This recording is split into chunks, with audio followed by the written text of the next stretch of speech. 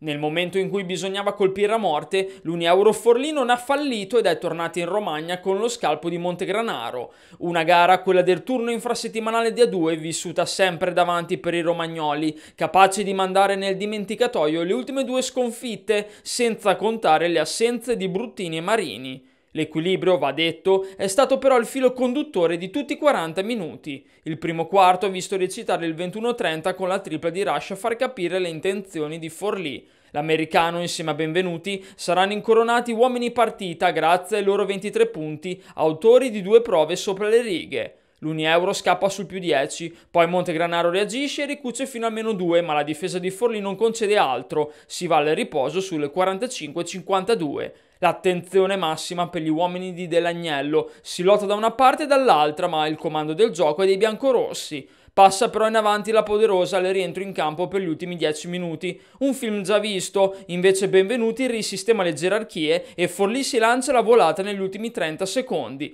L'ex Bonaccini sbaglia, Ndoia no e punisce marchigiani 86-89.